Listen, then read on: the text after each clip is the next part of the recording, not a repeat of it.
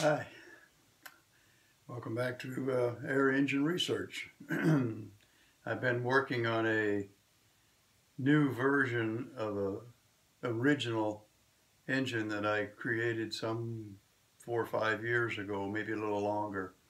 It's one that I call the uh, two-plate uh, three-cylinder eccentric drive. And it worked rather well, well except I couldn't I couldn't keep the uh, the valving system on it to to stop leaking. Every time you'd get it under a, a, a load, it would leak, and it just couldn't build up enough pressure to give you any torque. So over the years, I have created a new valve that uses a single push rod and it has an O-ring seal inside and this one does not leak. So I can use it to run the original engine, which I really like. But in the meantime, I had worked on some other ideas and one of them that I thought would work out pretty well, I called it the uh, orbital engine. And it has one uh, push or one crankshaft that is mounted solid to a ring and it rotates a center crankshaft. But this goes in an orbital motion, so that's why I called it the orbital engine. Uh, on this one is the first one that I was able to create a valve that didn't leak. So once I did that, then that gave me the opportunity to come back and, and use this, this engine. Now this one works re really well, although I had to come up with a, what they call a flexible uh, valve stem because the cylinders rotate, so they, they, they have to bend in order to still work in the proper orientation. Now, like I said, this one works rather well, but the problem is the vibration. It, it just cannot be used because of that. It looks like it runs fine there. What happens when it starts running? It just, you have to have it mounted solid to something, and if it's not large enough, it'll still vibrate like crazy. So I just cannot use that. I did try putting it on my bicycle uh, in that last, well, yeah, it was, I think I showed one of the videos with it, but maybe not. But anyway, it, it made the bicycle go, but it just was too unreliable. Now, this one, it has some features that my original one didn't have. It has bearings that I that I put in here where the push rods ride on. And it also has bearings out here on three spots to to take up any any pressure off of the drive shaft rods. And this one just rotates in a straight thing.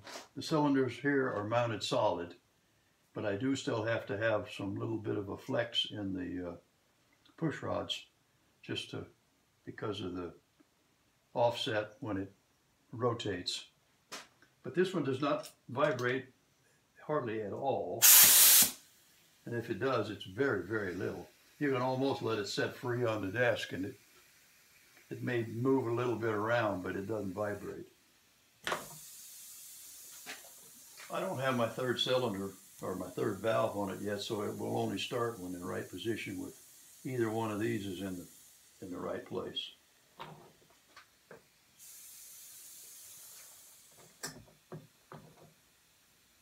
There.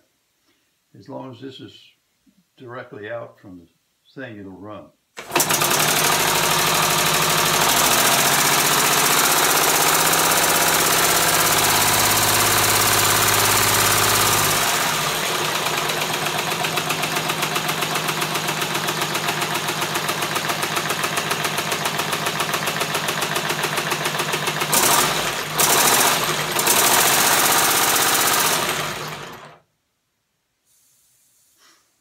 Well, it stopped in the wrong position, otherwise it would have started. There. Go back to there again.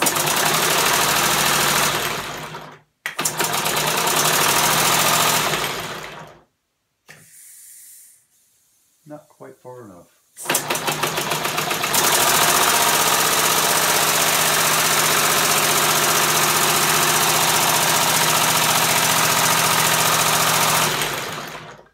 I'm very satisfied with that.